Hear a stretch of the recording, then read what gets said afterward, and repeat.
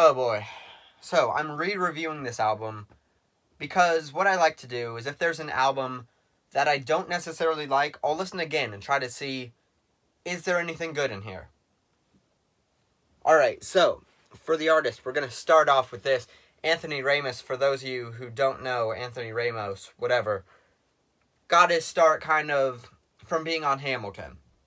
And if you go to his page on Spotify, all five of his most streamed tracks, most popular tracks, what shows up on the artist page are from Hamilton. And that's a good reason, there's a good reason for that. So I went into this album knowing it wouldn't necessarily be my favorite thing ever. I knew it wasn't 100% my style, but I went in thinking, okay, this is going to be decent at least. And the first track, Dear Diary, it it helps raise your expectations. This is not a track that I didn't like. I'm going to rephrase that. I like this. It's not my favorite thing in the world, but it's tolerable. Like if it came on the radio or came on shuffle, I wouldn't necessarily skip it. The next song, though, is just Annie's basement, Annie's basement, whatever. It's just forcing itself to try and be this dance song, this song that. I have something in my throat. Hold on. All right, this song that just is trying to force itself to be on the radio. And it tries to bump it up with these dancing beats, these more pop beats. It's just not it, okay? This album, overall, this song's just not too good. One More Hour, once again, lifts up your expectations a little bit. At this point, when you're listening through it, you're thinking, okay, maybe just the start was a little bit off. But it's going to get on a good track, right? Isabella, again, kind of a song that gets a little repetitive near the end, but nonetheless, it is still a catchy song. Then you get to the second third of this album. It all goes downhill, okay? Songs at first you're thinking, those are decent. This is something I'm still giving a chance. This is something that I'm still going to listen to. Once you reach Mind Over Matter, though, it all goes downhill.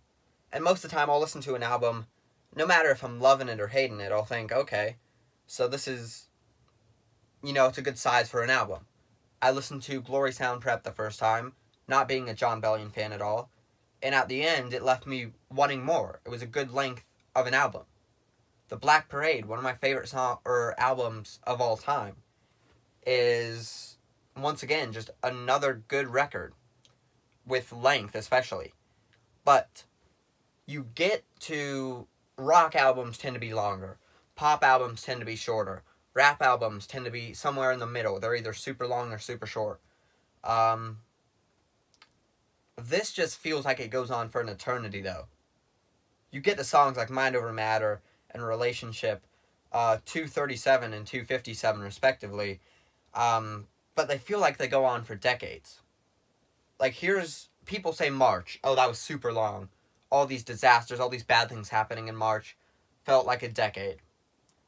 If you think that felt like a decade, you have not listened to this new album, or it's not new at all, but just the album in general.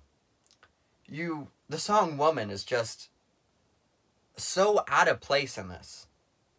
And then you get back towards the end, you start to go up again, and you're thinking, you know, I don't. It's gonna take a lot to save this, but they start to dig themselves out of this hole, and the songs figure it out. In either way, they're better.